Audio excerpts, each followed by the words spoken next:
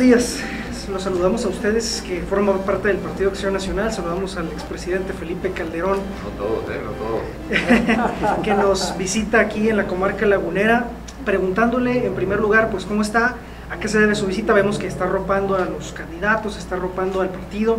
Eh, y a qué partido llega, porque realmente han sucedido muchas cosas desde que usted dejó la presidencia.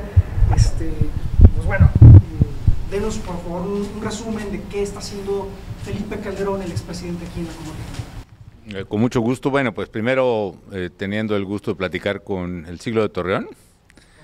Y segundo, me invitó Fernando Izaguirre, que es candidato a diputado por uno de los distritos de Torreón y que además es miembro fundador de México Libre, a venir a apoyarlo en su campaña, a hablar con eh, gente con liderazgo, a convocarlos a este esfuerzo, a entrevistarme también con los medios y apoyarlos a los candidatos, en particular a los candidatos a diputados federales, tanto a Jorge Cermeño, con quien tengo una gran amistad, lo conozco hace tiempo, como a Fernando, eh, consciente bien de su integridad, de sus eh, capacidades y del momento que vive el país, que implica la importancia vital de evitar que se consolide en México una dictadura.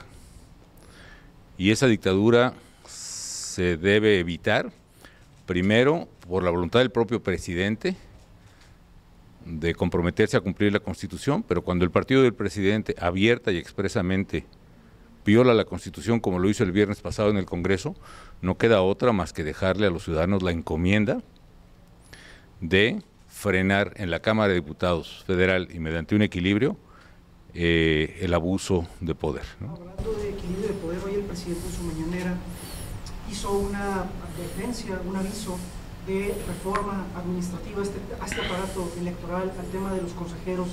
Eh, ya son cada vez más reiteradas este tipo de situaciones de parte de, eh, pues, eh, de parte del Partido Acción Nacional, de parte de gente de, de su ideología. ¿Qué supone esto?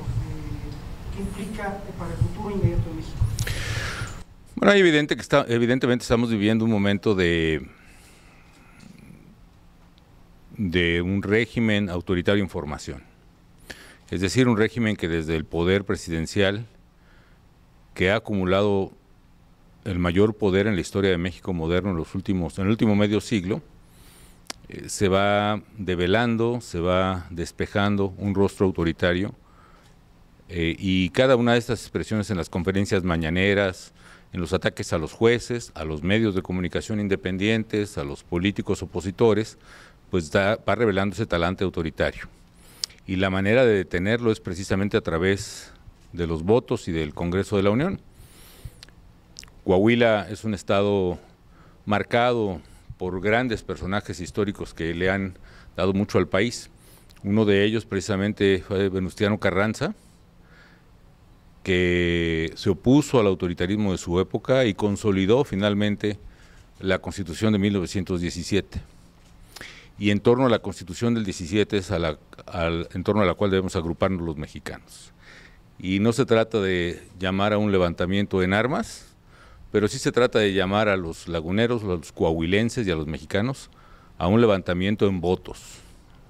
Estamos convocando a los ciudadanos que se levanten en votos el 6 de junio para defender nuestra democracia, nuestra soberanía, que es el derecho de los mexicanos a tomar decisiones, para defender nuestras libertades para eso estoy en la laguna apoyando a los candidatos que representan precisamente esa oposición y, e invitando a los, sumándome e invitando a los ciudadanos a este levantamiento en votos.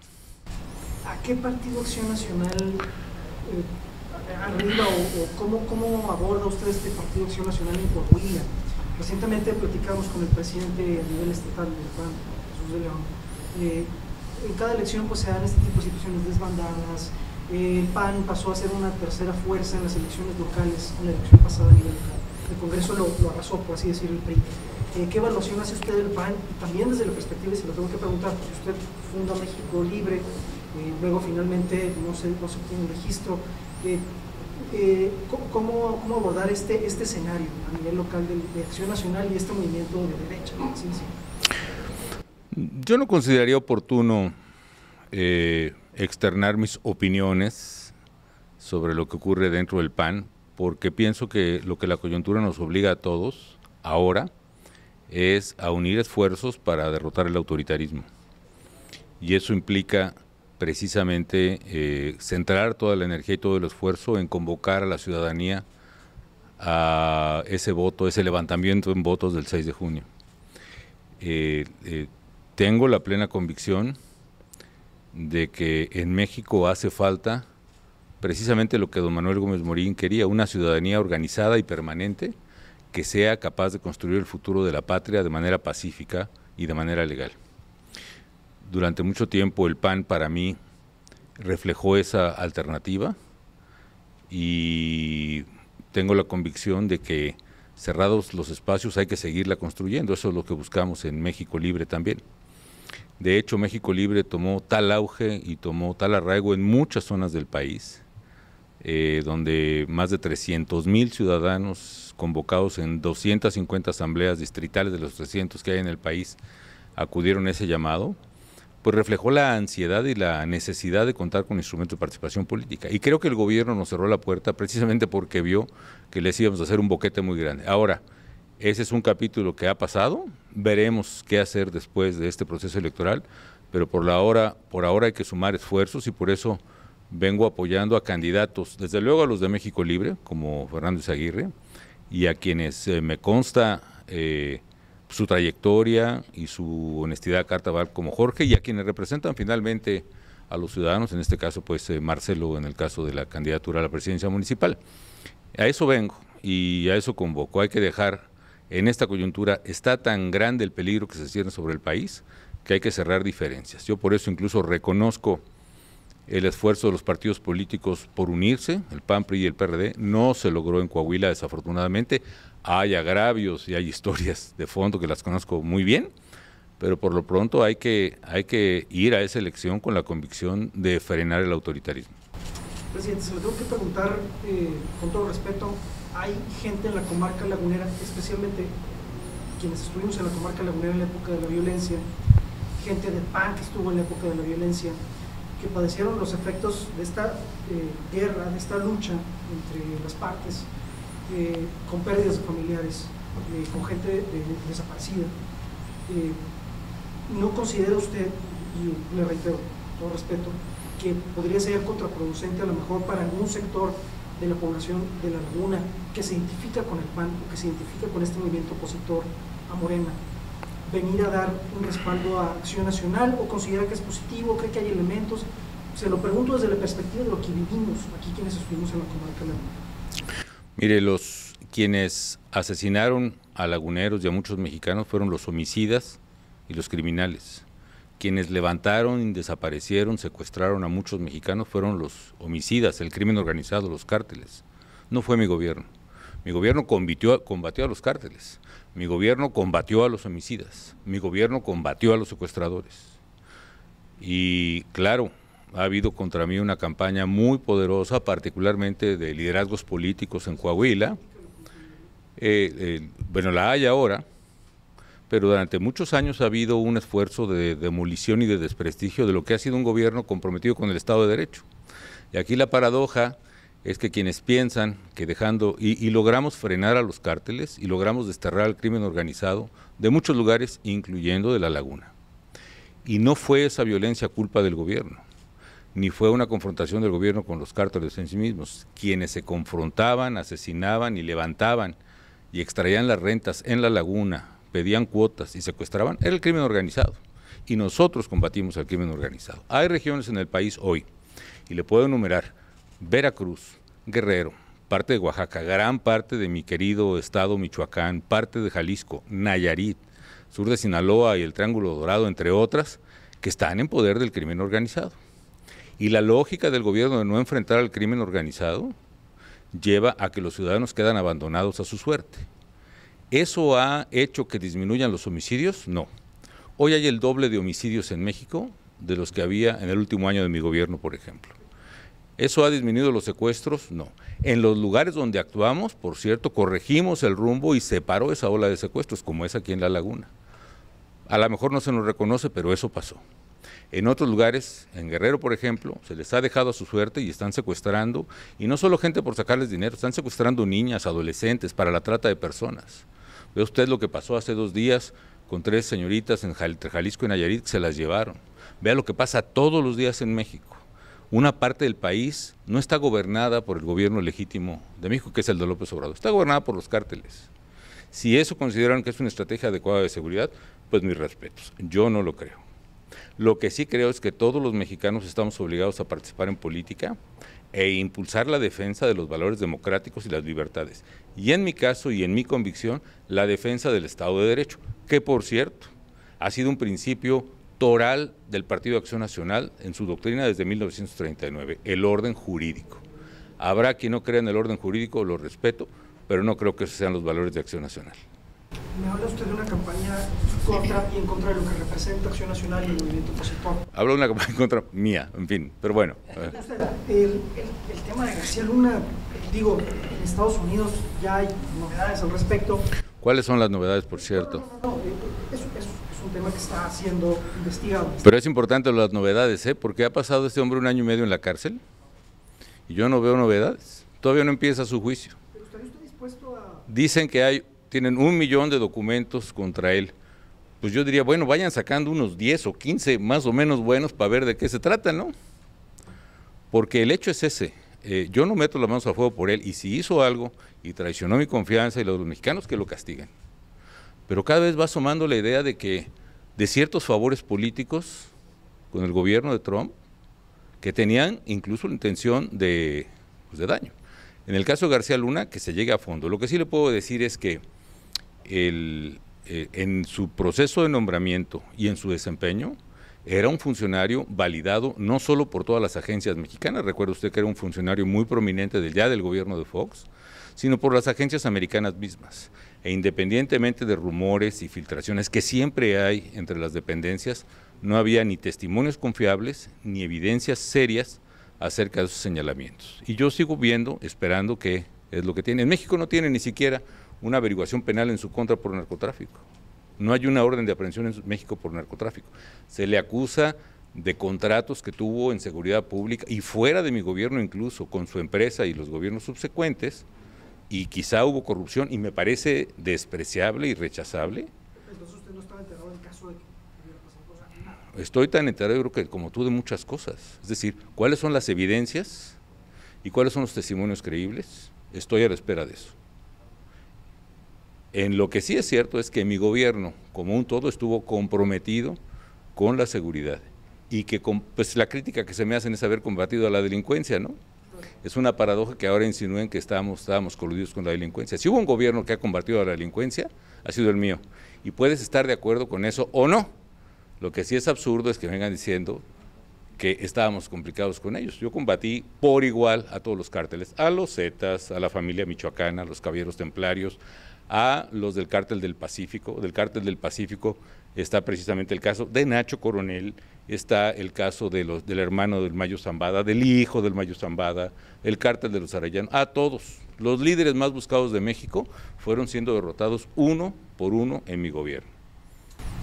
¿Qué, visión tiene Felipe Calderón de la comarca lagunera en general? ¿Cómo ve la región, eh, pues ya que dejó el gobierno de la República? Eh, ha estado gobernado por eh, pues empiezo por eso. Yo creo que Jorge ha sido pues, uno de los mejores alcaldes que ha tenido Torreón y la gente lo quiere por eso. Y yo sé que lo ha sido porque es un hombre honesto y ha sido un hombre limpio. Y creo que el prestigio de Jorge y de muchos alcaldes panistas eh, no solo lo refrendan, le refrenda la confianza para ganar sus distritos, sino que además han permitido que la laguna se desarrolle y permita que la gente laboriosa que tiene pueda progresar. Yo, por cierto, soy de la idea, el PAN lo es, o lo era, de que cuando dejas que la gente trabaje, cuando le protege sus derechos, su derecho de propiedad, su, derecho a la libertad económica, su derecho de invertir, su derecho de trabajar, su derecho de negociar, su derecho de emprender, esas son las ciudades, las regiones y las naciones que prosperan. En cambio, las naciones que les restringen sus libertades, que les amenaza sus derechos de propiedad, que les expropia sus terrenos o sus fábricas, que los asusas eh, desde el poder público, esas naciones no prosperan.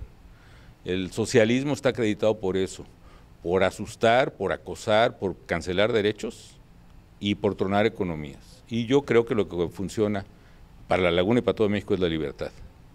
Tenemos cinco minutitos, les voy a permitir que nos expresen su opinión respecto a la visita del presidente Calderón, la expectativa que tienen para la elección y tomando en cuenta el apoyo que viene. Gracias Roberto, pues mira, muy agradecido con la visita del presidente Calderón, sin duda uno de los mejores presidentes que ha tenido este país, pese a las críticas, por eso les pesa a nuestros adversarios, a nuestros opositores, porque hubo resultados, resultados tangibles, resultados que se vieron, que se sintieron.